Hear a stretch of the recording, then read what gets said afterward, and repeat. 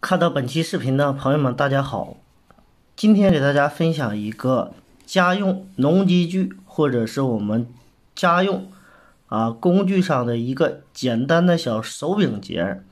那么这个手柄节啊，咱们先讲一段历史啊。最早期可以追溯到二战时期侵华日军的时候，因为到一九四二年。到一九四三年之间的时候，日本发动了太平洋战争。这个时候，由于日本大量的调集军队前往太平洋战场，致使国内的资源紧缺，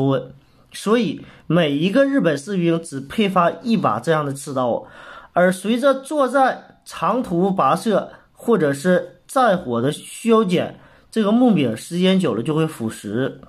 那么有很多有经验的日本兵，他们是从日本大阪本土过来的，因为日本大阪本土有很多都是农民出身的，啊，都是农民出身，他们被征兵的时候也是这样的，所以说他们就运用了家中农机具绑手柄的一种技巧，找来一根不起眼的绳子，把手柄绑起来，以达到缓解手柄继续腐蚀的效果。那么。据一个日兵老兵回忆啊，他们当时在参加新兵训练的时候，他们的叫武田佐夫的这个长官，找来了四个八路军游击队员，三男一女。当然，这四个八路军游击队员已经被打的站立不稳了。然后武田长官命令他们把刺刀上上，用刺刀去把这四个游击队员杀害啊。后期这个日本老兵在说的这些什么东西，我就听不懂了啊！咱们现在无需要说这些没有用的，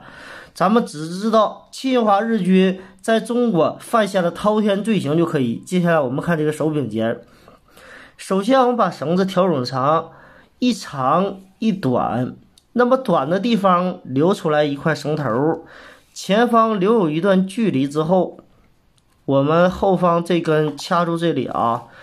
这个短绳，大家看，长绳绕到下方压住短绳，从手柄开始腐蚀的地方，慢慢由下端向上端这样缠啊。也就是每缠一圈的时候，我们都要把它锁紧一下，为了让它达到更加呃